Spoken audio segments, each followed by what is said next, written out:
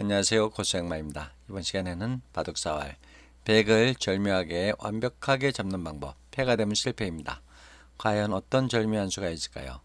수일기를 한번 해보시기 바랍니다. 실전에서 이런 모양이 나왔다. 100을 꼼짝없이 한번 잡아보시기 바라겠습니다.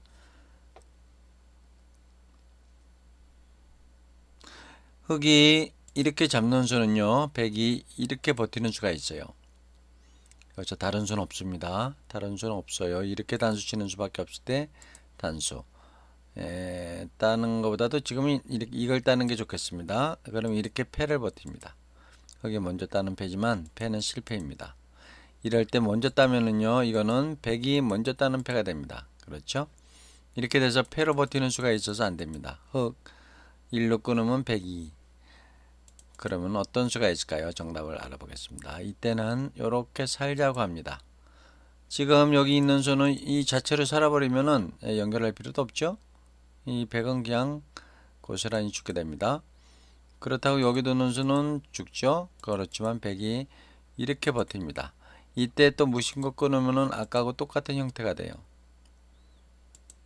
또 패가 됐죠? 실패입니다. 그러면 백이 이때 3으로 끊는 게 아니라 이때 어떻게 해요? 한 번 더 살자고 끝까지 여기서 살겠다고 우깁니다. 이거 이을 시간이 없죠. 이거 살면 안 되니까 이렇게 놓을 때 그때 끊어야 여기서는 아무런 수가 안 납니다. 그렇죠? 따봐야 뭐 아무 예, 집이 안, 안 생겨서 100이 완벽하게 잡힙니다. 그래서 흙 1로 두고 100이 2로 놓을 때 한 번 더 치받는다. 이거 안 넣을 수가 없죠? 예. 아주 감쪽같이 잡히고 맙니다.